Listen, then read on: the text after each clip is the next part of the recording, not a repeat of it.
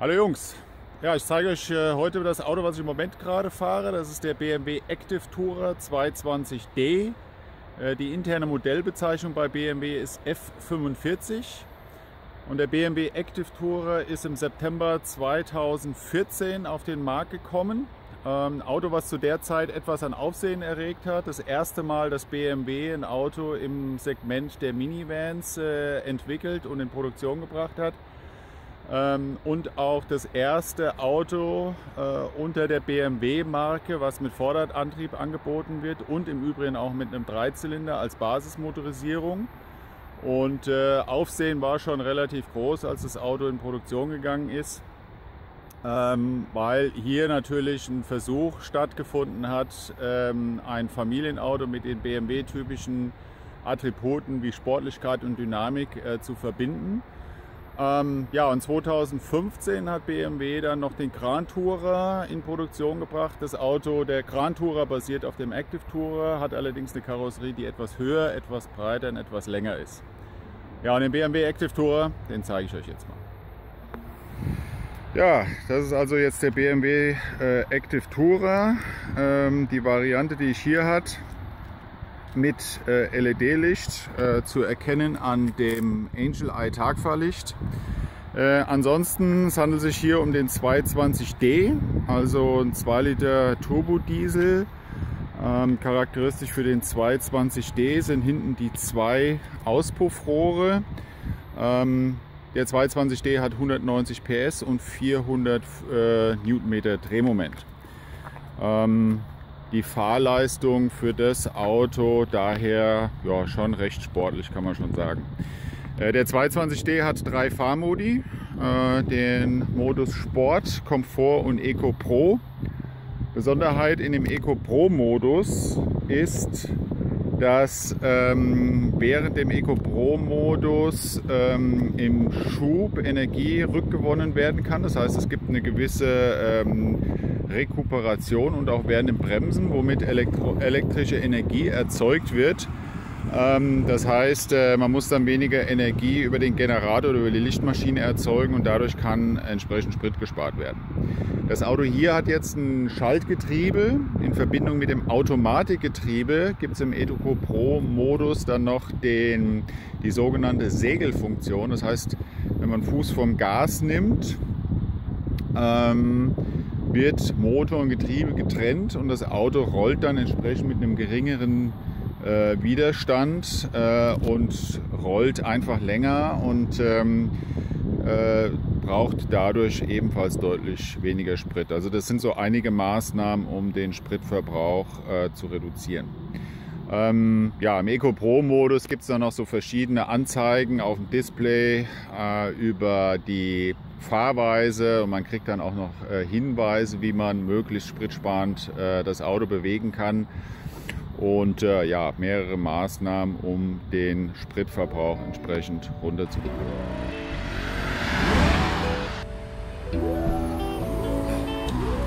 I'm just a bachelor looking for a partner someone who knows how to ride without even falling off gotta be compatible takes me to my limits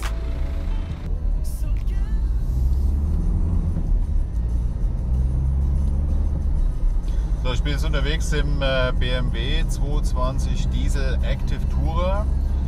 Ähm, 2 Liter Diesel, 190 PS, 400 Newtonmeter. Was sofort auffällt, der Motor ist äh, verhältnismäßig leise, also äh, sehr, sehr gut abgedämpft. Im Innenraum hört man davon relativ äh, wenig. Ähm, was das Auto hat, äh, eine Besonderheit und was immer mehr äh, in den Markt dringt, ist ein sogenanntes äh, Zentrifugalpendel ähm, an dem Zwei-Massenschwungrad, äh, das zusätzlich zur Geräuschdämmung auch noch die Vibrationen, die durch den Motor angedreht äh, werden, sehr, sehr gut wegdämpft. Also dass man das Auto sehr niedertourig auch fahren kann, was wiederum dazu führt, dass man auch äh, die Möglichkeit hat, das Auto wirklich sehr, sehr sparsam zu fahren, wenn man immer mit niedrigen Drehzahl fährt. Äh, und es ist wirklich äh, überhaupt nicht störend, äh, wie das äh, bei anderen Fahrzeugen ist, die eben so ein Feature nicht haben, äh, wo dann durchaus bei niedrigen Drehzahlen entsprechend der Motor vibriert. Ähm, ich fahre die Schaltgetriebe-Variante. Ich habe den 2er BMW schon in diversen Variationen gefahren, jetzt mal mit dem Schaltgetriebe. das Schaltgetriebe macht BMW nicht selber. Ähm, traditionell kauft BMW Getriebe immer ein von verschiedenen Lieferanten. Und äh, seitdem BMW den Mini macht, ähm, der ja auch Vorderradantrieb hat, wie dieses Auto hier, kauft BMW Getriebe bei der Firma Getrack. Ähm, Getrack, großer Getriebehersteller und auch das äh, Getriebe in dem Fahrzeug hier ist äh, Getriebe von der Firma Getrack. Und äh, was ich sehr erstaunlich finde, ähm, obwohl hier bei einem Fahrzeug mit Vorderradantrieb, wo das Getriebe natürlich vorne direkt äh, neben dem Motor quer eingebaut ist und damit natürlich eine ganz andere Anbindung zwischen dem Schalthebel äh, und dem Getriebe gibt, nämlich in dem Fall durch Kabel im Vergleich zu äh, den üblichen Getriebevarianten, die BMW in Produktion hat für die heckgetriebenen Fahrzeuge, fühlt sich das Getriebe hier wirklich sehr, sehr BMW-typisch an. Also die Schaltbarkeit ist, ähm, entspricht der BMW-Charakteristik. Das finde ich schon sehr, sehr gut gemacht. Insgesamt die Schaltbarkeit von dem Getriebe recht gut. Sportlich, die Gänge flutschen da recht gut rein. Und auch klassisch für BMW ähm, hat das Auto für den Rückwärtsgang eine Schlagsperre. Das heißt, man muss mit recht großem äh, Kraftaufwand den Schalthebel nach links bewegen, um dann in die Gassen zu kommen für den Rückwärtsgang. Das mag nicht jeder, weil es wie gesagt äh, viel Kraft braucht, wenn man ein bisschen kleiner ist. Ähm, dann kann es schon mal bedeuten, dass äh, wenn man Unterarm hat mit einer kleineren Hebellänge, dass man das als äh, störend empfindet. Ist aber eine Gewöhnungssache und kann man mit klarkommen. Ähm, auch spezifisch für die Variante mit äh, dem Schaltgetriebe hat der 2er BMW eine Funktion, die heißt Rev Matching. Äh, das heißt, beim Runterschalten, wenn ich die Gänge wechsle, wird während dem Schaltvorgang die Motordrehzahl schon auf das Niveau ge gebracht für den nächsten Gang. Das setzt natürlich voraus, dass das Getriebe einen Sensor hat, was auch die Gänge tatsächlich erkennen kann. Äh, das heißt, ähm, der ist hier verbaut und während dem Schaltvorgang, das heißt, wenn der Fahrer die Kupplung tritt, ähm, einen Gang einlegt, weiß das Steuergerät bereits, in welchen, weiß das Steuergerät automatisch, in welchen Gang der Fahrer schalten will und kann dann schon die Drehzahl entsprechend anpassen auf die Geschwindigkeit des Getriebes, sodass die Übergänge, wenn man dann die Kupplung kommen lässt, sehr, sehr weich sind. Ähm, das ist aktiv beim Runterschalten und äh, ist sehr komfortabel, weil die Übergänge sehr, sehr weich sind. Äh, wenn man insbesondere zum Beschleunigen nochmal runterschalten will, ist das wirklich ein sehr, sehr angenehmes Feature. Wo es nicht ganz so angenehm ist und wo es auch ein bisschen ähm, Umstellung erforderlich macht, wenn man zurückschalten will, um das Auto abzubremsen, also als zusätzliche Bremsfunktion, dann ähm, ist dieses Feature natürlich eher hinderlich, weil äh, wenn man diese Übergänge sehr, sehr weich macht, äh, bedeutet das auch, dass die Bremswirkung während Schubphasen natürlich entsprechend äh, geringer ausfällt. Braucht also ein bisschen äh, Umgewöhnungsphase, wenn man das Feature sonst äh, nicht gewöhnt ist. Aber ansonsten, ich finde es äh, trotzdem sehr, sehr angenehm und sehr komfortabel. Hat übrigens auch der Mini, und äh, es gibt so einige andere Autos, die das haben. Die Corvette zum Beispiel hat es, der Nissan 370Z hat es. Ähm, und ja, unterstreicht auch so ein bisschen die Sportlichkeit von dem Auto und gibt zusätzlich zur Sportlichkeit natürlich einen gewissen ähm, Komfort. Was ich allerdings sehr erstaunlich finde, ähm, die Funktion Rev Matching, dadurch, dass der Motor während dem Schaltvorgang, wenn die Kupplung geöffnet ist, etwas Gas gibt, um die Drehzahl entsprechend anzupassen steigt natürlich auch der Verbrauch. Und äh, Verbrauchswerte gerade in der heutigen Zeit ähm, durch sowas zu belasten, ist natürlich nicht ganz so angenehm, ja, wo man äh, jedes Gramm CO2 natürlich äh, sucht. BMW ist jetzt einfach den Weg gegangen, dass diese Funktion ausgeschaltet wird, wenn man das ESP deaktiviert. Und ESP wird ebenfalls deaktiviert, wenn das Auto ähm, einen Verbrauchszyklus auf Prüfstand fährt. Das heißt, der Kunde hat immer diese Funktion, die ein bisschen mehr Verbrauch erzeugt, ist aber nicht aktiv, wenn eine Verbrauchsmessung durchgeführt wird. Das ist in der heutigen Zeit gerade, ähm, wo Autoherstellern ja immer wieder so ein bisschen ähm, vorgeworfen wird, man äh, würde schummeln. Natürlich sehr, sehr bedenklich. Ansonsten, das Auto hat äh, drei Fahrmodi, einen Sportmodus, Komfort und äh, Eco Pro.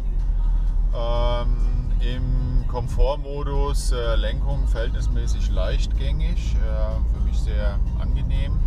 Die Lenkung wird im Sportmodus relativ hart. Das ist gut, wenn man auf der Autobahn fährt, äh, viel geradeaus fährt. Auf der kurvigen Straße ist das eher störend und unangenehm.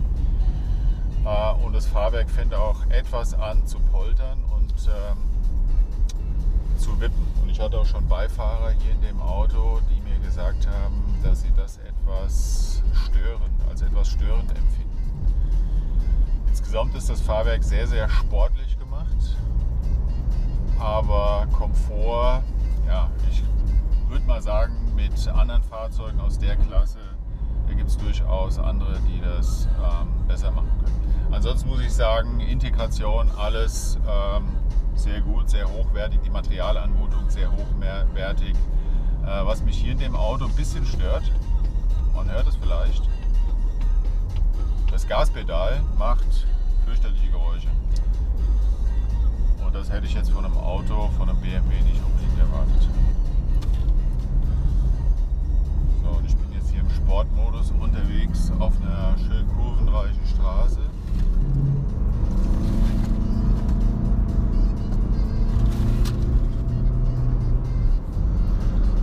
190 äh, PS und insbesondere die 400 Newtonmeter, die sind äh, sehr, sehr gut dosierbar, sehr, sehr linearer ähm, Verlauf äh, der Drehmomentkurve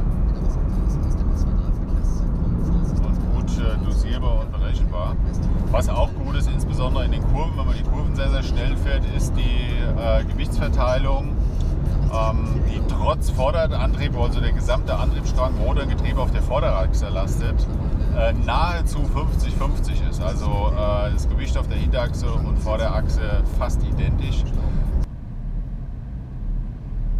Ja, der BMW äh, hat eine Hill-Hold-Funktion, sehr angenehm beim Anfahren. Das heißt also, wenn das Auto am Hang steht, ähm, erster Gang eingelegt ist, man den Fuß von der Bremse nimmt, äh, bleibt die Bremse noch kurz angelegt und das Auto rollt nicht zurück. Man kann also sehr, sehr angenehm dadurch am Hang anfahren. Äh, der Innenraum, das 2.2, äh, 220 Diesel Active Tourer, äh, BMW typisch. Ähm, hochwertige Materialien, alles gut integriert. Ähm, typisch das Armaturenbrett dem Fahrer leicht zugewandt, alles gut ablesbar, die Knöpfe alle an ihrem richtigen Platz. Ähm, das ist sicherlich keine Überraschung und man kommt hier sehr, sehr schnell, sehr, sehr gut mit dem Auto klar. Was mir unheimlich gut gefällt, ist das Display, was hier so frei schwebt, wie man das zum Beispiel auch in den äh, aktuellen Mercedes-Modellen äh, findet. Äh, mit einem sehr, sehr guten Bild, also das Navigation, die Navigationskarte wird sehr, sehr gut dargestellt äh, und auch die Rückfahrkamera hinten im Heck äh, gibt ein gestochen scharfes Bild ab. Auch verfügbar im äh, Zweier Active Tourer ist äh, das Head-Up-Display. Ähm, und zwar ist es gelöst mit so einer Projektionsscheibe hier vorne auf dem Armaturenbrett, leicht getönt. Ähm, die Daten, die dort hinein projiziert werden, zum Beispiel Geschwindigkeit, äh, die ähm, Angaben der Navigation oder auch äh, Abstandswarnungshinweise. Ähm, sehr gut ablesbar, also kann man durchaus was mit anfangen. Äh, besser wäre es vielleicht sogar noch gewesen, wenn man äh, die Informationen direkt in die Scheibe hinein projiziert, was allerdings technisch wahrscheinlich ein bisschen schwierig war. wegen der doch recht weit äh, wegstehenden Scheibe und aufgrund der Tatsache, dass die Scheibe relativ flach ist. Ich könnte mir vorstellen, etwas kleinere Personen, ähm, da wird diese Projektionsscheibe schon im Sichtfeld sein, sodass das wahrscheinlich ein bisschen die Sicht einschränken könnte, könnte ich mir vorstellen. Ja, aber funktioniert zumindest für meine Größe sehr gut.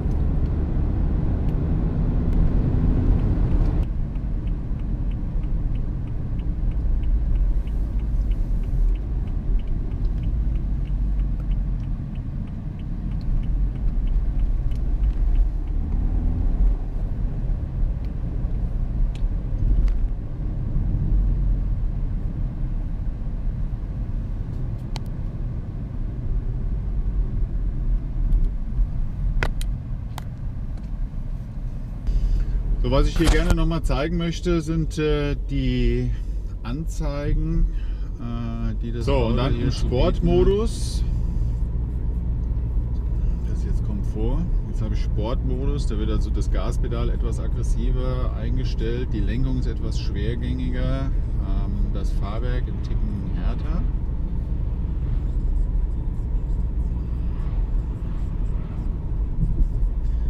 Kann ich in der Sportanzeige kann ich äh, Leistung und Drehmoment mir anzeigen. Also das heißt, äh, wenn ich jetzt hier Gas gebe, Drehmoment geht jetzt auf 400 Newtonmeter, weil ich natürlich die Drehzahl ist nicht ganz so hoch, deswegen geht die Leistung nicht voll hoch, aber äh, Leistung zeigt er mir dann entsprechend auch an.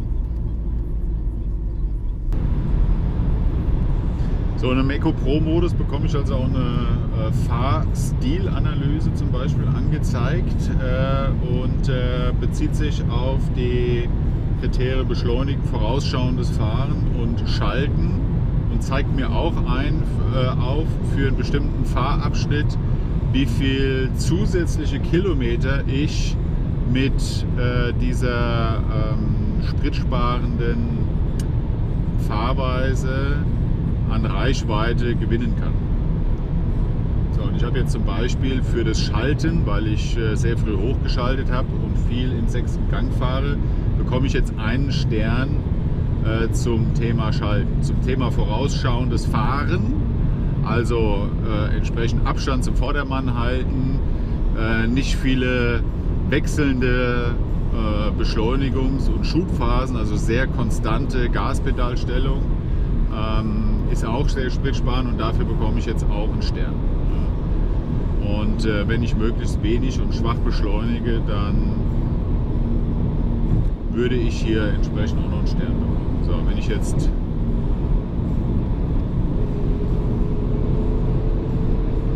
viel schalte, dann nimmt er mir wieder einen Stern beim Schalten schon mal wieder weg. Und ich habe jetzt im Übrigen, weil ich jetzt äh, fast 160 gefahren bin, gibt er mir hier die Anzeige, dass ich das Eco Pro Geschwindigkeitslimit überschritten habe und zeigt mir an, wenn ich langsamer fahren würde, dass ich dann entsprechend weniger Sprit spare.